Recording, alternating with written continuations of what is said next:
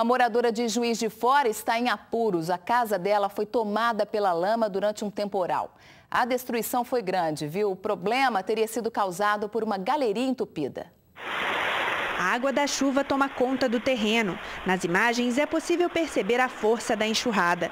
O vídeo foi registrado pela dona Maria. A água que veio do terreno vizinho invadiu a casa dela e o prejuízo foi grande. Essa vez ela veio muito com a pressão, quebrou o muro, que eu fiz, fiz com sacrifício, né? Estragou a, a, a casa, o sofá, amassou minha máquina novinha ali, sabe? Que passou muita quantidade de água.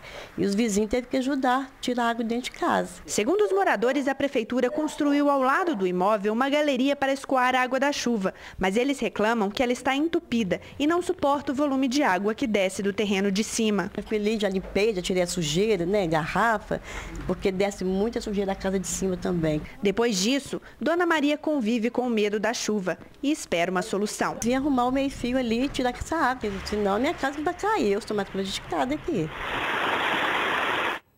A Secretaria de Obras de Juiz de Fora informou que vai enviar uma equipe ao local para fazer uma vistoria.